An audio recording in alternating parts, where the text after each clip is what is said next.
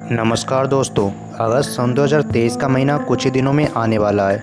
ये महीना स्वतंत्रता दिवस के सेलिब्रेशन के लिए जाना जाता है और फिल्मी लवर्स उस दिन अपनी पसंदीदा फ़िल्में देखने सिनेमाघरों में जाते हैं। अगस्त के महीने में एक से बढ़कर एक फ़िल्में आने वाली हैं, जिसमें एक्शन थ्रिलर रोमांटिक और कॉमेडी फ़िल्मों की लिस्ट शामिल है।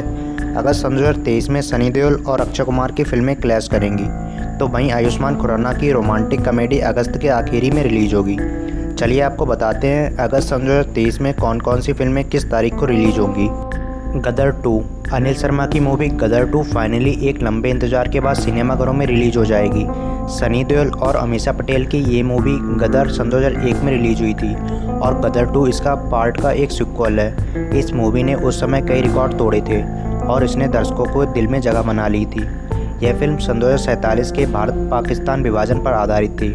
11 अगस्त को मूवी सिनेमाघरों में रिलीज़ होगी और इसमें सनी देओल तारा सिंह और अमीषा पटेल, सकीना के रोल में दिखेंगी। ओ एम जी टू सन दो हज़ार बारह में रिलीज़ हुई film O M G Akshay Kumar के फिल्मी करियर के बेहतरीन फ़िल्मों में से एक है। इसका sequel O M G two, ग्यारह अगस्त सन दो हज़ार तेईस को गदर टू के दिन ही रिलीज़ होगा। दोनों फ़िल्में बॉक्स ऑफ़िस पर एक दूसरे से टकराएँगी। इस बार अक्षय कुमार भगवान शिव के रूप में नज़र आएँगे। और उनके साथ पंकज त्रिपाठी और यामी गौतम मुख्य भूमिका में होंगे।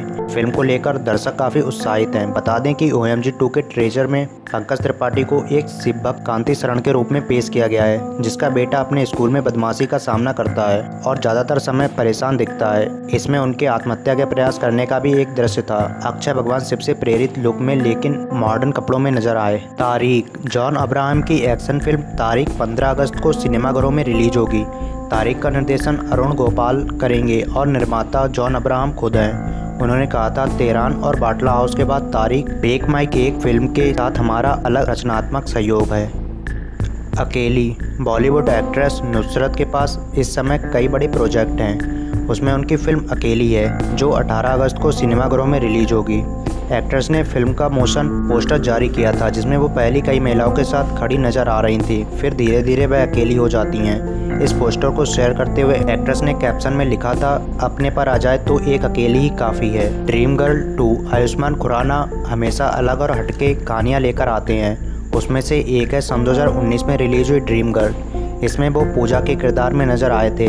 अब पूजा 25 अगस्त सन दो को अपनी रिलीज़ के साथ सभी का दिल चुराने के लिए वापस आ गई है। इसके प्रोमो जारी हो चुका है, जिसे देखकर फैंस उत्साहित हो गए हैं। इसमें आयुष्मान को पूजा के रूप में बेहद खूबसूरत अंदाज में दिखाया गया। अपनी मधुर आवाज़ से वे एक बार फिर से सबका दिल जीतने आ रही है। आयुष्मान खुराना ने एक इंटरव्यू में कहा था, सिनेमा के सचे विघटन करता मेरी सिनेमाई प्रेरणा है। और कमल हसन सर ने, चाची 420 में आमिर खान सर ने बाजी और गोविंदा सर ने आंटी नंबर वन में जो किया, वह वही है। एक अभिनेता के लिए वास्तव में निर्णायक क्षण है। मैं ये देखकर मंत्र मुग्ध हो गया और अचंभित रह गया कि स्क्रीन पर एक महिला का किरदार निभाना कितना शानदार है। कम से कम इतना तो कहा ही जा सकता है कि ये दिमाग चकरा देने वाला था। तो अगस्त के महीने में रिलीज़ होने वाली इन पिक्चरों में से आप कौन कौन सी मूवी देखेंगे और कौन सी मूवी ब्लॉकबस्टर होगी और कौन सी फ्लॉप, ये बात भी आप कमेंट बॉक्स में ज़रूर बताएँ। और अभी तक आपने यदि हमारे चैनल को सब्सक्राइब ना किया हो तो सब्सक्राइब कर लें। और वीडियो को लाइक कर दें। तब तक के लिए धन्यवाद। जय हिंद।